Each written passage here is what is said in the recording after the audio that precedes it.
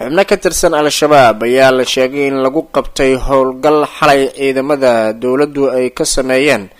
Xaafado ka tirsan magaalada muqdisho sida ibraahim bashka uu ku waramayo ciidamo ka tirsan kuwa dowladda federaalka soomaaliya gaar kuwa hay'adda nabad sugidda iyo sirdoonka qaranka soomaaliyeed oo holay howlgal qorsheysan ay ka sameeyeen degmada yakshiid ee gobolka banaadir ayaa waxaa la xaqiijiyay inay ku soo qabteen xubno lagu tuhumayo inay ka tirsan yihiin dagaalyahanada al-shabaab waxaa la sheegay in qof dadka deegaanka ay si weyn u yaqaaneen islamarkaana la sheegay inuu la shaqeynaya al-shabaab. Ciidanku bartilmaameedkoodu ahaa islamarkaana ay ku soo qabteen halka yidhaahdo waddada dayacatirka ee degmada yakshiid ee gobolka banaadir. Qofkan ayaa lagu tuhumayaa inuu ka dambeeyey dilal ka dhacay degmada yakshiid gaar ahaan xaafadda carfaad oo degmadaas ka tirsan. Saraakiil ka tirsan hay'adda nabad sugidda iyo sirdoonka qaranka soomaaliya ee nisa oo howlgalkan hogaaminaya waxay sheegeen in ragga lagu soo qabtay howlgalka xalay ka dhacay degmada yakshiid qaarkood lagu tuhumayo inay ka tirsan yihiin al-shabaab. Waxaa la sheegay in qaar ka mid ah ragga la soo qabtay lagu soo qabtay howlgalka ay sameeyeen kuwa kalena ciidanku ay bartilmaameed u ahaayeen sida ay xaqiijiyeen saraakiil ka tirsan hay'adda nabad sugidda soomaaliya. Ciidamadoo ahaa kuwa si gaara u tababaran islamarkaana howlgal qorsheysan u diyaarsanaayeen. Ayaa waxaa la sheegay in gurigiisa ay ka soo qabteen mid ka mid ah dadka deegaanka oo la sheegay inuu la shaqeynayay dagaalyahanada al-shabaab. Ma jirto wax war ah oo ka soo baxay dhanka hay'adda nabad sugidda iyo sirdoonka qaranka oo ku aadan ragga lagu soo qabtay howlgalkii xalay ka dhacay degmada yakshiid ee gobolka banaadir. Ciidamada nabad sugidda xiliyada qaar oo habeenkii ah waxay howlgallo qorsheysan ay ka sameeyaan degmooyin ka tirsan gobolka banaadir iyadoona lagu soo qabtay xubno lagu tuunsan yahay al-shabaab. Qaarkoodna mararka qaar ku caddaatay inay dilal ka geysteen degmooyinka qaar ee muqdisho shir looga hadlayay howlaha cadaaladda deegaanada koonfur galbeed ayaa lagu qabtay magaalada baydhabo. Mukhtaar aadan dalmar ayaa warkan soo diray.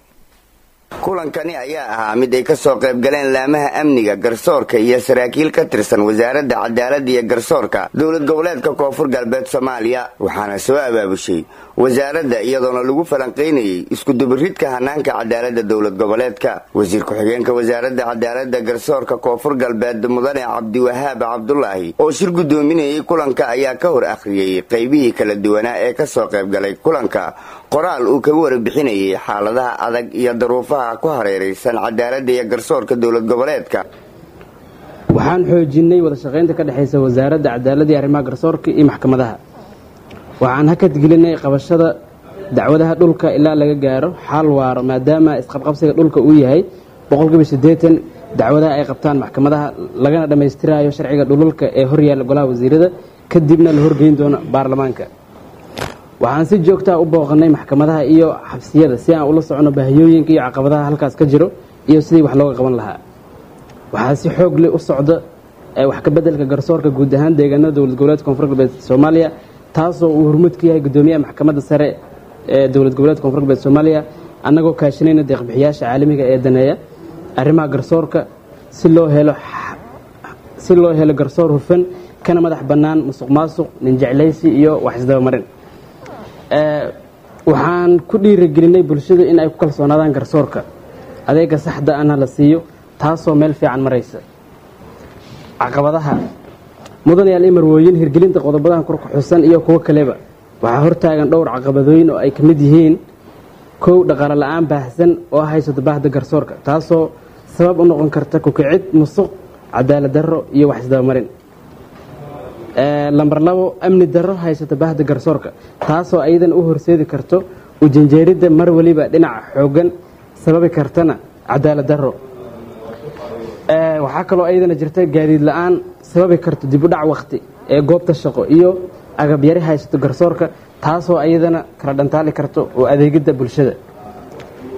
Mudanayaal marwooyin si loo xaliyo caqabadahan kor ku xusan waxaan ka codsanaynaa deeqbixiyaasha caalamiga ee daneeya arrimaha garsoorka inay wax nagala qabtaan arrimahaas kor ku xusan ee aan soo sheegnay si xal waaro looga helo bulshadana u hesho adeeg garsoor oo ku filan kuwaasi ayaa ah caqabadaha heesta qaybaha ka shaqeeya cadaaladda iyadoona ay wajahayaan dhaliilo uga imaanaya mas'uuliyiinta sare ee dowlad goboleedka koonfur galbeed soomaaliya loogana dalbanayo in ay la yimaadaan qorshayaal cadcad oo ka dhigaya hanaanka cadaaladda. Mid ay kalsooni ku qabi karaan shacabka iyadoo taasi ka duulaysa ayay wasaaradda cadaaladda doonaysaa inay ku dardargeliso qaybahani dhisidda cadaaladda iyo kalsoonida shacabka.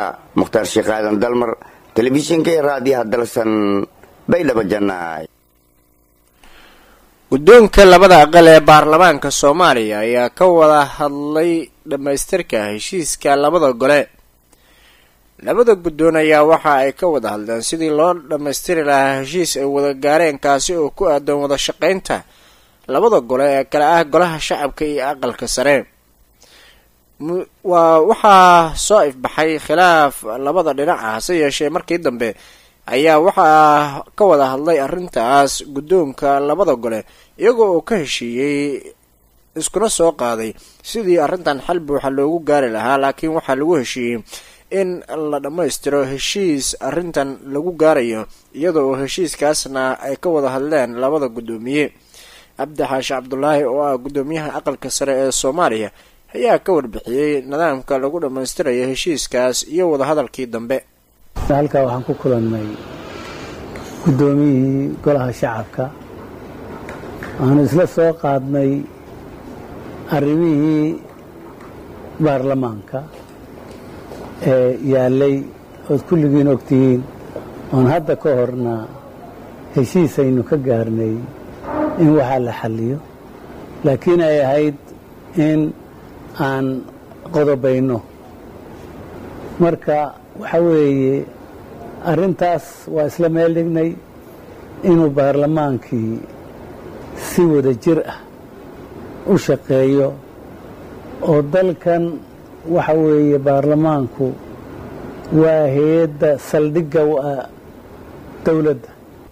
Waxaanu la kulannay oonu iyagana baarlamaankii jabuuti guddoomiyihii baarlamaanka jabuuti aanu kulannay wada hadalnay fikir isweydaarsanay halkaas oan ku heshiinay inaan si wada jira u shaqayno oo aan samayno guddi saaxiibtinimo oo labada baarlamaan ka dhexeeya. Marka guddigaas oo ah lix iyo lix lix baarlamaanka jabuuti ah iyo lix baarlamaanka soomaalida oo kolka ay noqonayso saddex iyo saddex baarlamaankeennu inuu ka koobnaado. Arrintaasina kolkaasi inaynu si wada jira shirarka baarlamaanada iskaashi aynu ka samayno aynu si wada jira u samayno. Madaxweynaha jamhuuriyadda si fiican noo soo dhoweeyey hadde waxaan ka hadalnay un kolkaa si guud oanu ka mahad celinay taageerada ay dowladda jabuuti siiso gaar soomaaliya gaar ahaan madaxweynaha jabuuti. Isagana intaas ayaan ka wada hadalnay. Aad buu noo soo dhoweeyey. Cabdi xaashi cabdulaahi guddoomiyaha aqalka sare ee soomaaliya ayuu kaasi ahaa. Saraakiil ka tirsan maamulka ahlu sunna waljamaaca ayaa lagu soo waramayaa inay ku soo wajahan yihiin magaalada muqdisho saraakiishan ayaa waxa ay u imaanayaan sidii ay wadahadal ula yeelan lahaayeen madaxda dowladda federaalka sida ra'iisul wasaaraha iyo madaxweynaha. Waxyaabaha ugu badan ee laga hadlayo waxaa ka mid a dhaqangelinta heshiisyadii ahlu sunna waljamaaca iyo dowladda dhexe ee soomaaliya ay wada galeen. Hase ahaatee waxaa markaasi wadahadalkan uu ku soo aadaya iyadoo oo heshiiska qaarkood la sheegay in uu burburay kadib markii dowladda dhexe ahlu sunna ay ku eedeysay sida wararku ay sheegayaan inaanay markaas sida ay ahayd u dhaqangelin heshiisyo ay ka mid ahaayeen. Isku dhafka ciidamada qaramiinta ciidamadii ahlu sunna waljamaaca iyo ciidamada la wareegay ammaanka magaalada dhuusamareeb ee gobolka galgaduud. Sidoo kalena waxaa markaasi dowladda federaalku ay maalin ka hor halkaasi geysay laba diyaaradood oo siday ciidan ka tirsan kuwa booliiska soomaaliya oo loogu talagalay inay xaqiijiyaan ammaanka xarunta lagu qabanayo shirka waa shirka dib u heshiisiinta beelaha dega galmudug shirka wadatashiga ee beelaha dega jubbaland ayaa waxaa laga soo saaray war-saxaafadeed kadib markii kulan uu ka dhacay.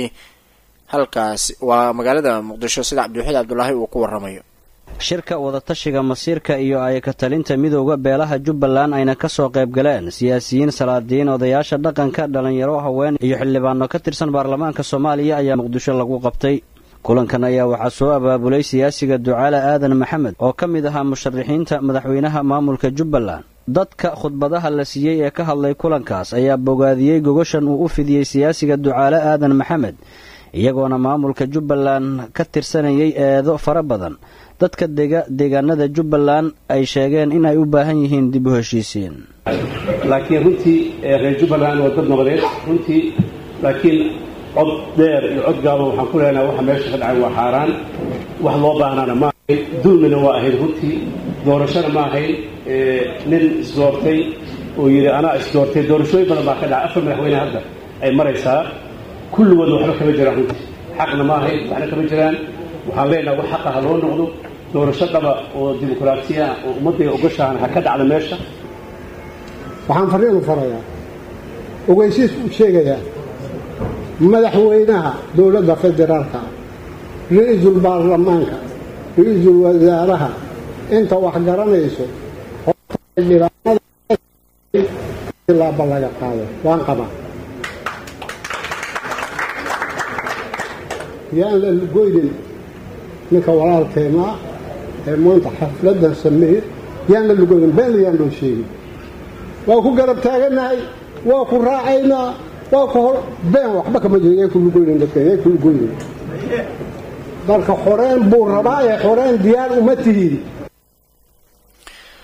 halka warkaas subaxnimo idinkaga imaanaya waa dalsan markaana dibadda xiisad horle ayaa waxa ay ka taagan tahay gobolka bariga dhexe kadib markii dhowaan israa'el ay weerar ay ka geysteen gudaha waddamada suuriya lubnaan iyo ciraaq.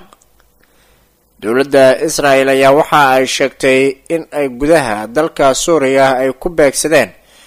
Ciidamaha ay leedahay dowladda iiraan iyo sidoo kale maleeshiyada shiicada halka gudaha lubnaan gaar ahaana koonfurta caasimada bayruud ay markaasi ka dhacday ama ku dhacday diyaarad noocee duuliyola-aanta ah ee daroonka loo yaqaano oo ay leedahay dowladda israa'el kooxda waa koonfurta bayruud ayaa waxaa ah baa layidhi meel ku xoogan ama ay ku xoogan yihiin ururka xisbullah sidoo kalena israa'el ayaa waxaa dhowr weerar ay ku beegsadeen waxaana ay ku tilmaameen maleeshiyada iiraan ay markaasi taageerto waa maleeshiyada iiraan ay taageerto ee shiicada ah. Madaxweynaha lubnaan ayaa waxaa